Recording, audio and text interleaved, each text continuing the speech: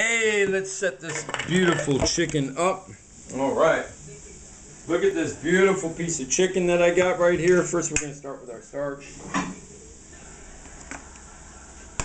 Yeah, my big plate is my favorite plate. Uh, I used to have like three or four. I used to have like 30 plates when I lived in the alley, but um, things was crazy back then. I used to feed everybody, man.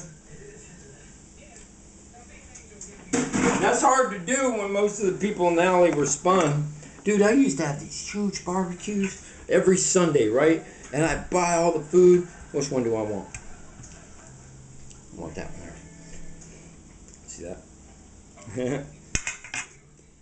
mm. And our caramelized carrots. Oh my god. Are we looking beautiful here? Looking beautiful here. All right, I'm gonna put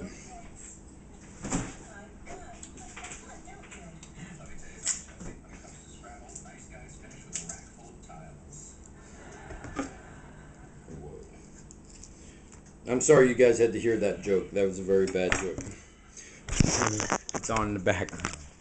Chef John, Ghetto Gourmet, man. Want you eat better. Look at that barbecue chicken breast done with homemade barbecue sauce and flies, get away, and uh, some uh, mashed potatoes and caramelized carrots and apples with brown sugar, habanero, and smoked chipotle.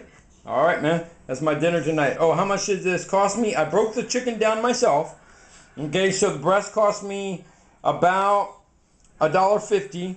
This cost about what 40, 40 cents. Potatoes cost about 10 cents. So what? We're at $2 for this plate right here.